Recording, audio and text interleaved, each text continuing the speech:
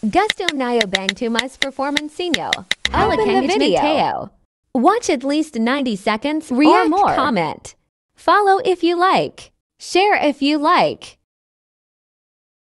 Kaya, what are you waiting for? Let's go!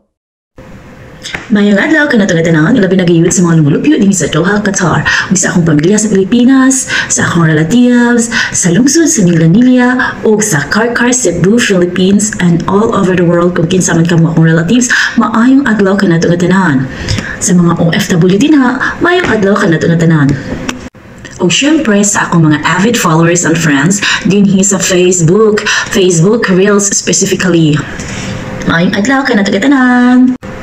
Guys, for today's video, this is in relation to Uncle's requirements. Uncle's new requirements na magbe-base na po siya sa count via views. So ngayon, kung gusto ko sanang makiusap sa inyo na hanggat maaari sana na pag nakita niyo po yung video ko or yung reels ko, ulitin ko po, yung mga videos ko at saka yung mga reels ko, baka sana yung pwedeng makiusap na baka pwedeng i-engage nyo naman ako. Tapusin nyo naman yung video ko.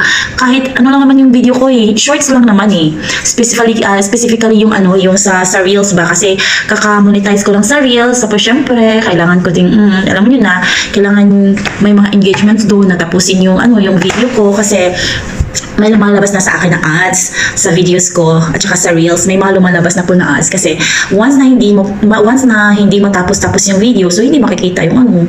I mean uh, hindi po ako hindi po counted tsaka sayang naman yung ads na nailagay doon kung hindi man lang pagkakitaan. Tama ba yung word ko?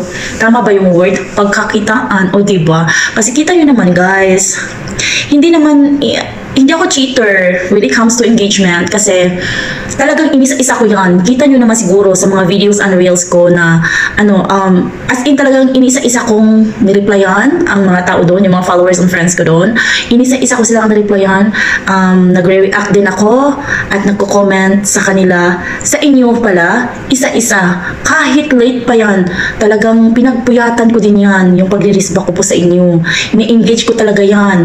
Tsaka, Tsaka, ano eh, kasi ayoko din naman na ako lang magkakaroon ng ads. Tsaka, lahat naman tayo, kaya nga tayo nag-Facebook, di ba? Kaya nga tayo nag, pumasok dito sa industriyang ito. Char! Star lang. Kaya tayo pumasok dito kasi gusto natin kumita. So, syempre, in that way, engage to engage tayo. Kahit kunti lang yung followers natin, ang importante is mag-engage tayo sa isa't isa. Hindi man tayo nagkakaroon, hindi man tayo nagkakaroon ng mga engagement dati, baka dito magkakaroon na tayo ng totally na totally na totoong engagement kay Uncle M. O, diba? At sana naman po, tapusin nyo naman yung video ko. Kasi, pag yun ang gagawin nyo sa akin, gagawin ko din naman sa inyo po. At kahit hindi nyo naman siguro gawin sa akin, pero hanggat maaari naman, kaya paano ko naman malaman kung, kung tinatapos nyo yung video ko or hindi, ini-skip nyo ba yung ads ko or hindi. Hindi ko naman nalalaman, di ba? So, by heart na lang. It's a matter of of uh, ano na lang um, helping each other o di ba?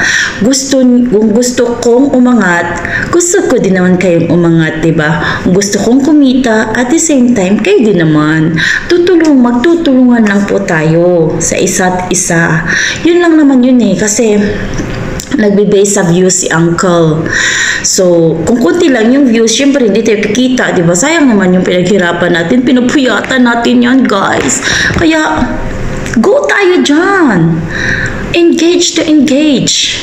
Kaya, kaya minsan, imagine niyo minsan sa risbakan, nag- nagsasabi naman talaga ako eh na, na ano, um, mamaya na ako mag, respect sa inyo kasi nga busy ako sa regular trabaho minsan minsan.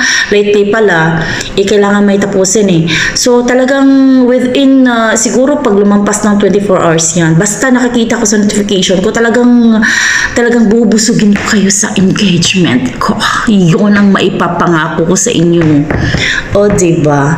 So para maging successful tayong lahat, let's support each other. Diba? Please.